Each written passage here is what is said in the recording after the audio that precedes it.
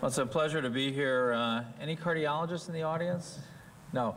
Uh, so as the token, uh, token cardiologist, uh, what I'd like to do is um, uh, give you the perspective of how we would see these patients being managed, taking into account what Kareem told you about high quality support for 30 days, increasing the chances of recovery, and secondly, the need to initiate uh, that support early on.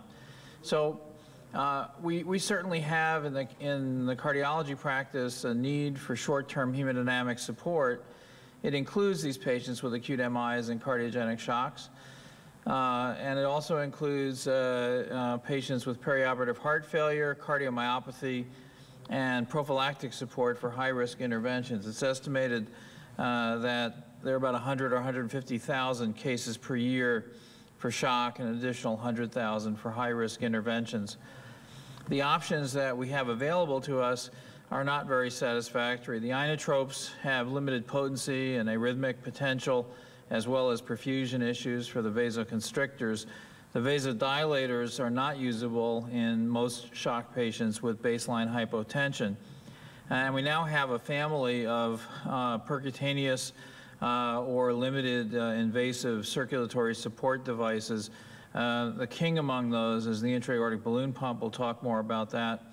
In a second, uh, CPS or ECMO um, have been used uh, with uh, limited durability, limited durations of support.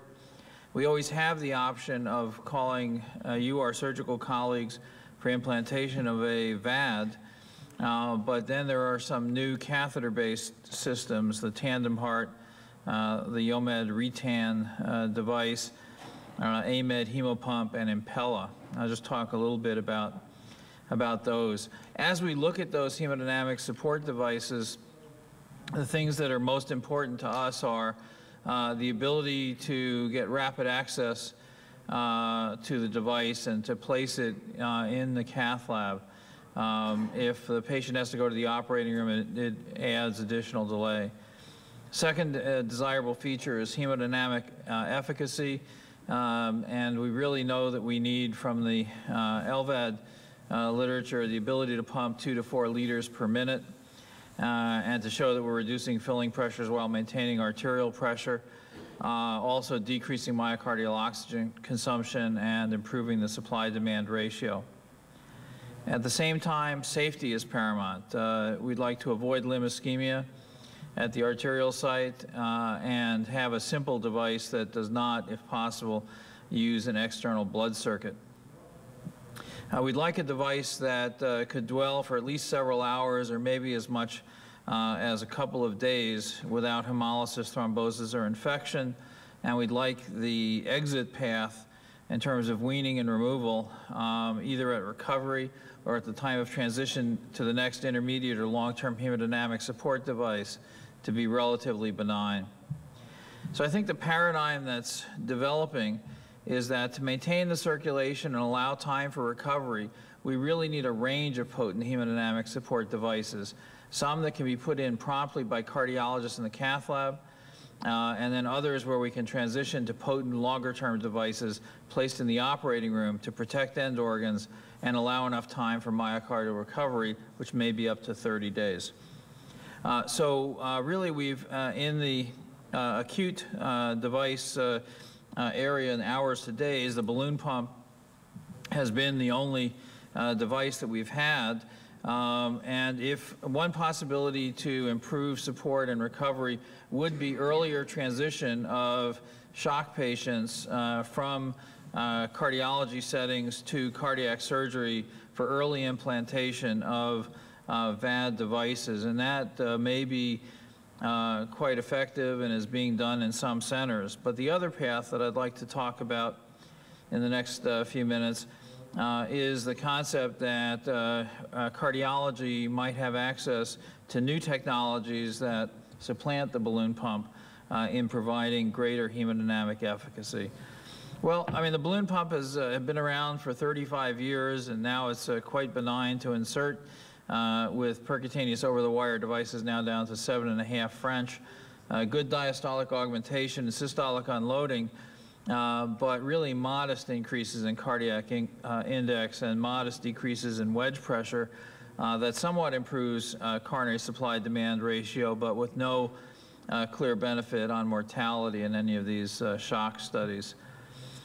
some of the more potent devices that are available include cardiac assist tandem heart, uh, which removes oxygenated blood from the left atrium via a large transeptal cannula, uh, 21 French inflow, and uh, 12 to 17 percent, uh, 12 17 French outflow. Uh, that lets this device pump two and a half to three and a half liters per minute. There are a little bit more than 100 patients in trials for about three days, but still the survival to discharge with cardiogenic shock is only about 43 percent. I think the main issues for rapid adoption of this device uh, are that the uh, transeptal puncture and the large dilators, uh, as well as the arterial perfusion cannulae, uh, make this a, a, more daunting procedure, and it does require um, a perfusionist uh, given the uh, high volume flow outside the body. Another device that has been used uh, for support is the Impella system. Uh, and this is a system that uses a uh, cannula with a motor uh, and an Archimedes screw that uh, suctions blood out of the left ventricle as the tip of the cannula sits in the left ventricle. I'll show you that in a second. Uh, and exits the catheter in the ascending aorta.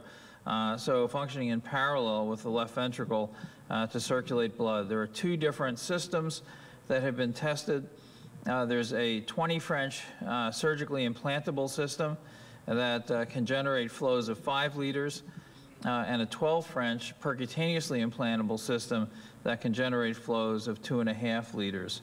Now, what is the uh, position of that catheter? Here you see the uh, pigtail at the end of this catheter. Here is the inflow to the cannula sitting in the left ventricle and then the motor and impeller sit in the ascending aorta so that it creates a path for blood to be sucked from the left ventricle and expelled into the ascending aorta. Uh, this shows the position uh, relative to the aortic valve plane uh, in uh, correct uh, positioning. That's been compared to intra-aortic balloon pump in animal models. This is a, uh, a calf model of severe mitral regurgitation. Uh, uh, from Dr. Van Ommen in Maastricht. Uh, and what it shows is that the Impella device at full function is much more potent at increasing cardiac output, um, in increasing aortic pressure, carotid flow, um, and interestingly uh, is much more potent at decreasing left ventricular work. Uh, so uh, the fact that the diastolic coronary flow uh, increase is slightly less than seen with the balloon pump is really a reflection of autoregulation and the fact that there's such a dramatic uh, decrease in LV work and uh, myocardial oxygen demand.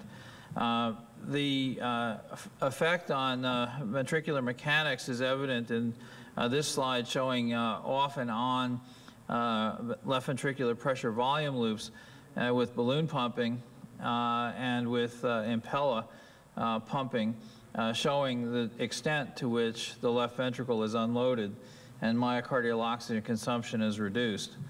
In fact, in animal models of ongoing uh, LAD occlusion, uh, without uh, such offloading and with offloading seen on the right, uh, there's a dramatic reduction in the amount of myocardial necrosis as a percentage of the area at risk with left ventricular unloading.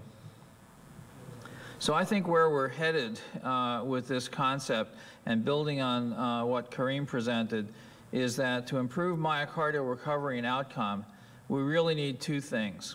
First, we need to encourage cardiologists to move earlier to potent surgically implanted support, uh, VADs like the AB5000, and be prepared to leave them in place for up to 30 days to allow uh, for a maximal chance of myocardial recovery.